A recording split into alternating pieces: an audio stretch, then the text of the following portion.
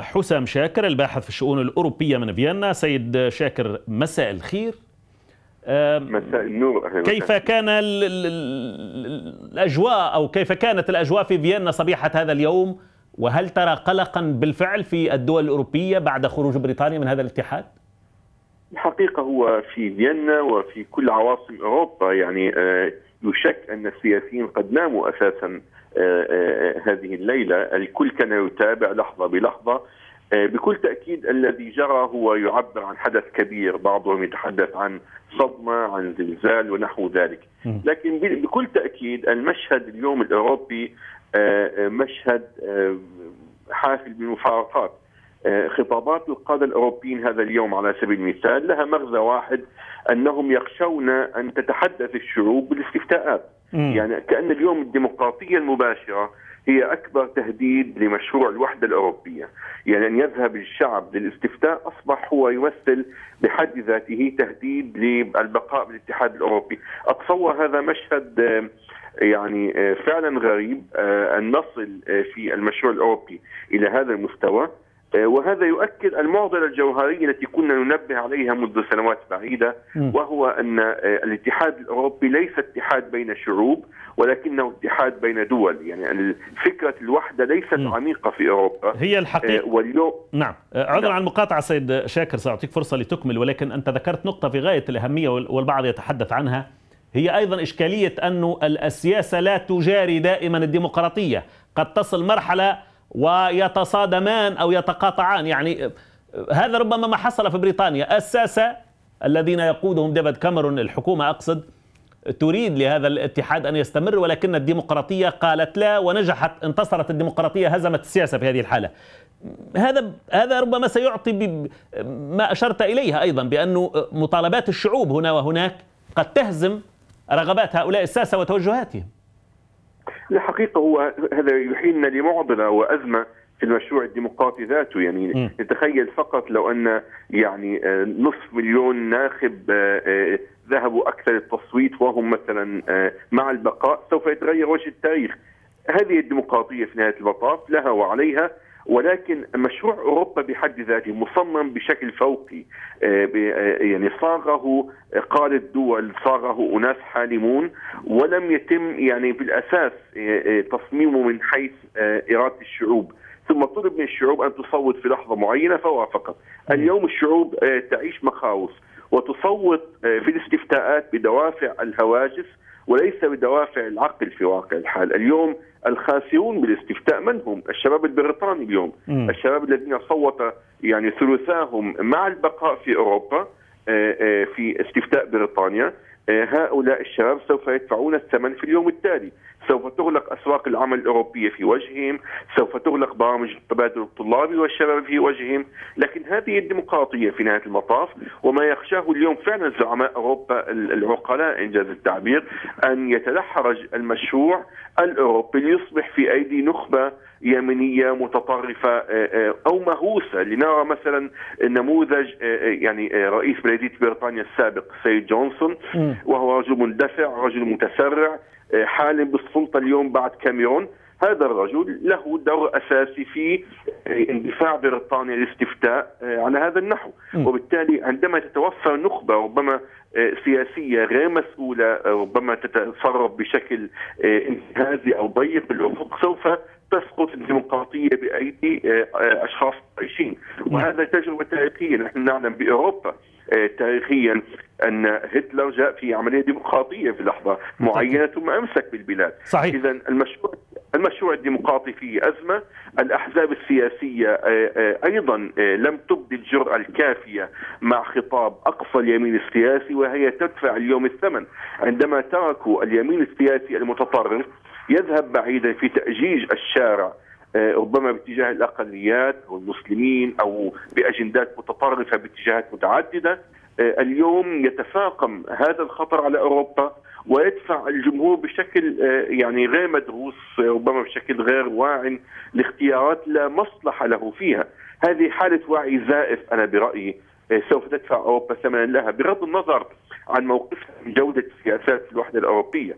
م. أيضا الشعوب الأوروبية اليوم لا ترى أنها قريبة لنقول من نبض صناعة السياسة في أوروبا، صناعة السياسة في أوروبا تجري بعيدا هناك في بروكسل.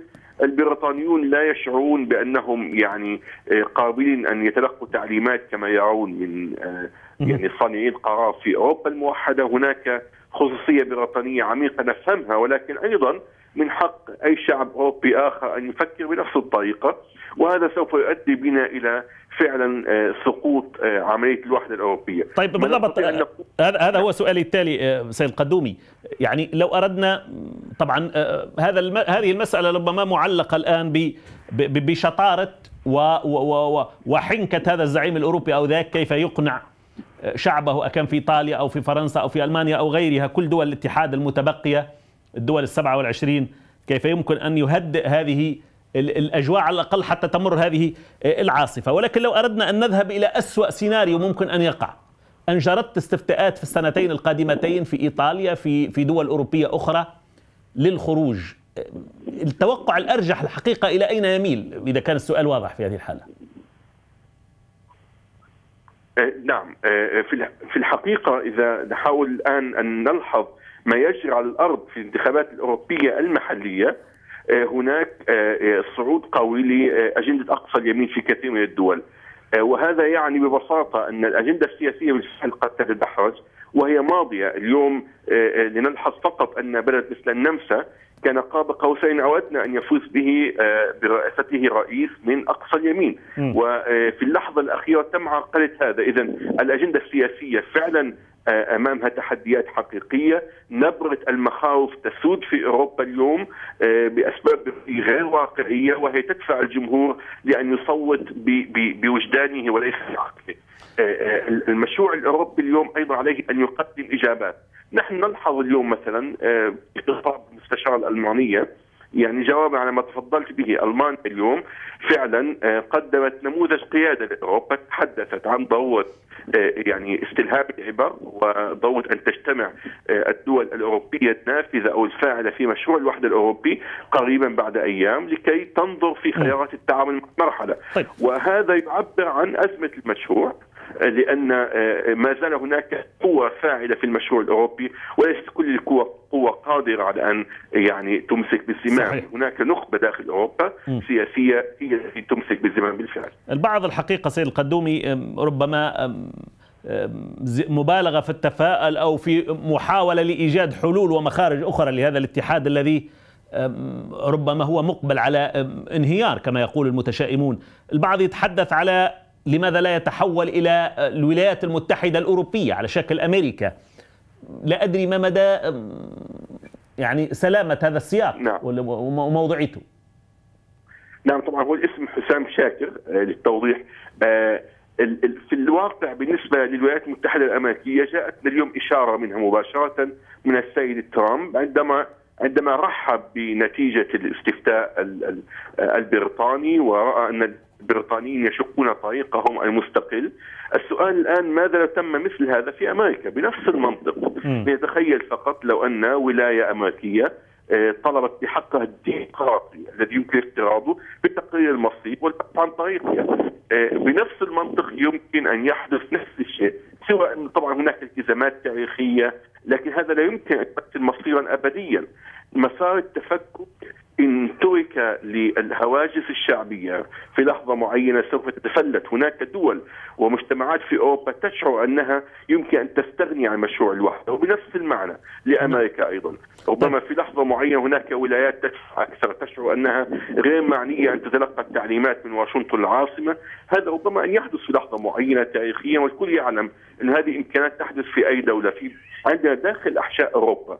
هناك دول اتحادية تعيش هذه اللحظة في أسبانيا على سبيل المثال في بريطانيا المملكة المتحدة أيضا وغيرها.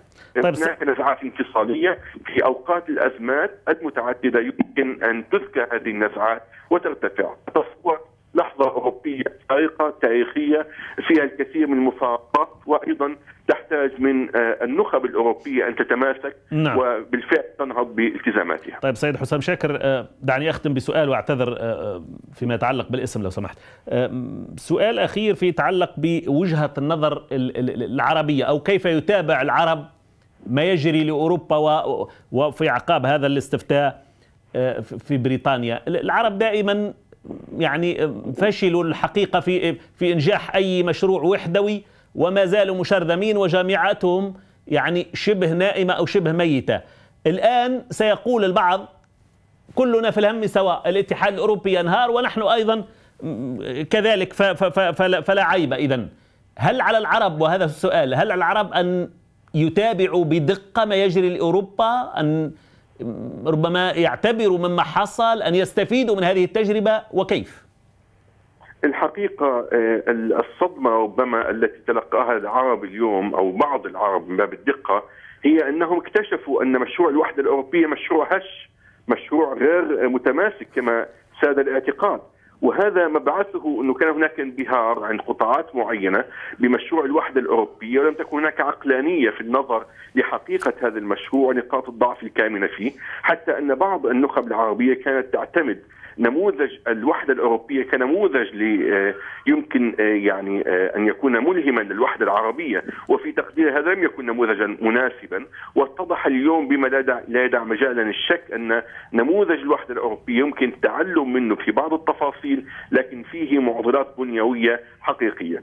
هناك فائدة للعرب وغيرهم من الشعوب حول العالم أن تلحظ هذه التجربة ونقاط الضعف فيها إذا ارادت أن تصمم مشروع وحده حقيقي، مشروع تكامل، مشروع تبادل وتنسيق، والاتحاد الأفريقي نظر في خيارات التفاعل المتبادل وأنضج تجربة على طريقته، نعم. العرب يحتاجون اليوم بالفعل أن يدركوا ما الذي يجري في أوروبا وأيضا في نفس الوقت أن يعلموا أن أوروبا قادرة أن تتعامل مع معضلاتها وأن نعم. بريطانيا سوف تبحث لها في نهاية المطاف عن شراكة خاصة مع أوروبا مثل النرويج أو أو أو, أو سويسرا التي تبقى في الحضن الأوروبي. في المعض... في نهاية المطاف هناك تحول حقيقي اليوم أو مؤشرات لتحول في أوروبا، لكن أوروبا تستطيع برأيي في المدى القريب أن تهضم هذه التحولات تتعامل معها وتتجاوزها قدر الإمكان ما لم تسقط في أيدي اليمين المتطرف. الأستاذ حسام شاكر الباحث في الشؤون الأوروبية. كنت معنا من فيينا. نشكرك جزيل الشكر.